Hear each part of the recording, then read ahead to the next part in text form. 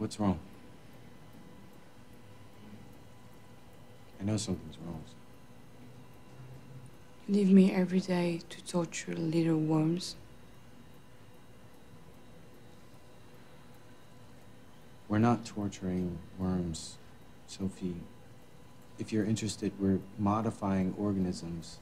In this case, they happen to be worms that are blind, and we're modifying them to have vision.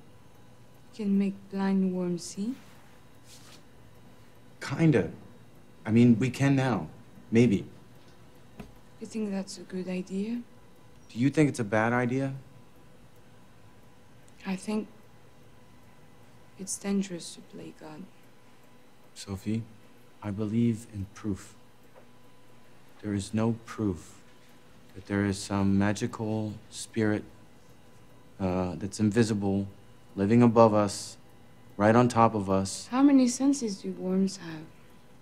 They have two smell and touch.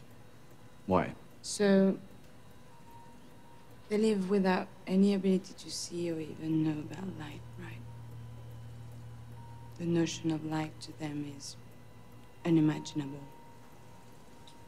Yeah.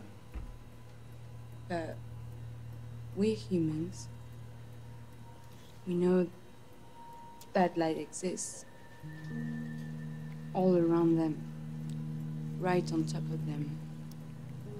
They cannot sense it, but with a little mutation, they do. Right? Correct.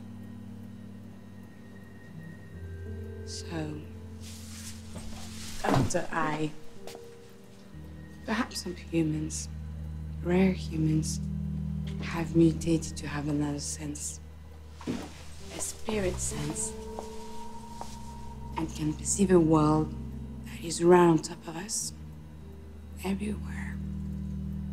Just like the light on these worms.